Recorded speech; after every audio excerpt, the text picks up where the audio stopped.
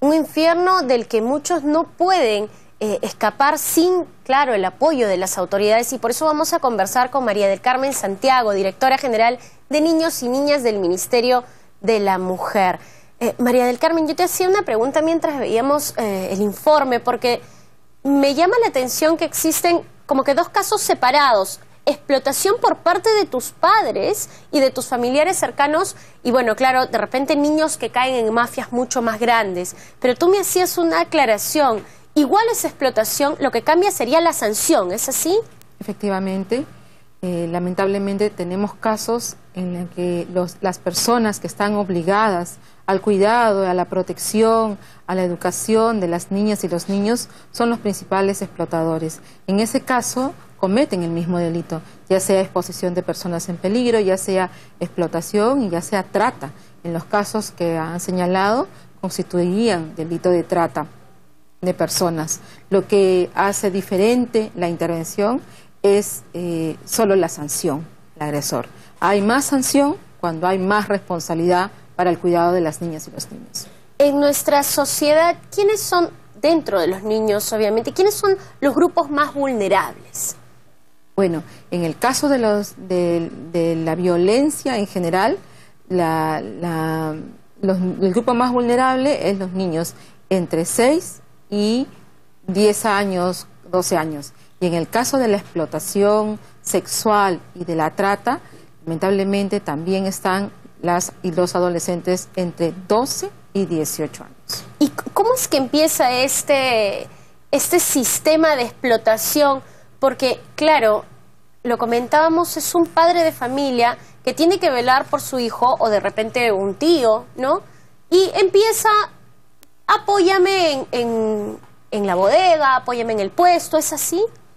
Así es. Hay un componente que es fundamental observar en estos casos. Primero, que el niño y la niña tienen derecho a una protección, son personas que eh, están en crecimiento, están en desarrollo y no se le puede someter a trabajos o a tareas, entre comillas, que atenten o que pongan en peligro este desarrollo, esta integridad. Una cosa es colaborar con algunas tareas, que eso no está prohibido. Podemos pedirle a, nuestras, a nuestros hijos, a nuestros sobrinos, que nos puedan ayudar en algunas tareas de la casa.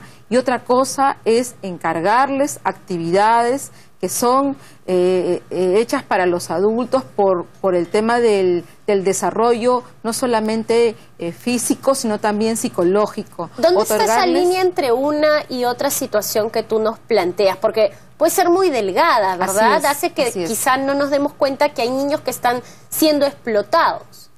Cuando le privas fundamentalmente de derechos. Le privas el derecho a su libertad, le privas del derecho a la educación, le privas del derecho a la salud, le privas del derecho al, libre tránsito y le privas el derecho también al juego, que es un derecho importante, porque a través del juego el niño se desarrolla, la niña se desarrolla. Cuando ya el niño y la niña no hacen esa tarea para aprender, para colaborar, sino como una obligación permanente que le causa eh, afectaciones no solamente a su vida, eh, a su integridad física, sino también a la integridad psicológica. Además, les asignas tareas que no corresponden a su edad y que no corresponden a su desarrollo, como yo lo he señalado, físico y psicológico. ¿Cómo se identifica eh, a, a, las personas, a los padres, que es terrible, padres y familiares cercanos que hacen este tipo de actividad, que ya no pasa a ser una colaboración, sino como el caso de esta niña que hemos visto, que ya ha sido rescatada, con amenazas, ¿no? Comentaban las especialistas del, ministerio que le decían que tienes que trabajar porque si no te voy a pegar, hay una amenaza de por medio. Afortunadamente, y lo hemos visto con los últimos casos, la población va tomando cada día más conciencia que las niñas y los niños son seres humanos, que nadie tiene derecho a eh, violentarlos, que nadie tiene derecho de privarles de un desarrollo integral y que todos estamos en la obligación de comunicar, de denunciar ante una autoridad, ante un servicio, cualquier situación que veamos. Por lo tanto, la mayor parte de denuncias vienen de la comunidad en general, vienen de pobladores y pobladoras comprometidos y comprometidas con el desarrollo de las niñas y los niños y su protección.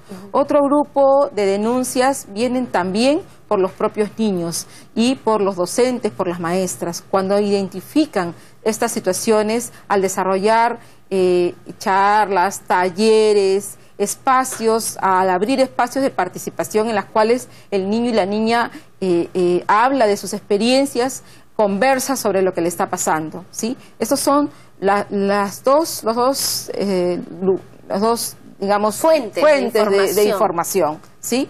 También hay un número que se ha incrementado en, temas de violencia, sobre todo de niñas y niños que ya han iniciado la denuncia a través de los medios que cada vez el Estado va implementando más, como por ejemplo las de MUNAS, las Defensorías del Niño, la, línea 100, los centros de emergencia mujer que se han ampliado, programas como Yacha y que tiene, como ya lo ha señalado su director en la mañana, eh, educadores en calle que están vigilantes de esta situación.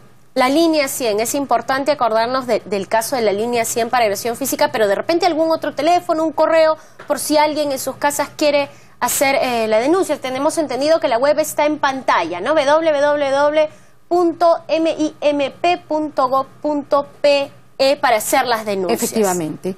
Todas las denuncias que lleguen a la línea 100, al chat 100, a la web del Ministerio, inmediatamente se derivan a las redes de atención y protección que están conectadas a estos servicios. Bien, muchísimas gracias María del Carmen Santiago conversando sobre el tema de la trata y la explotación de menores en nuestro país. Gracias por estar con nosotros.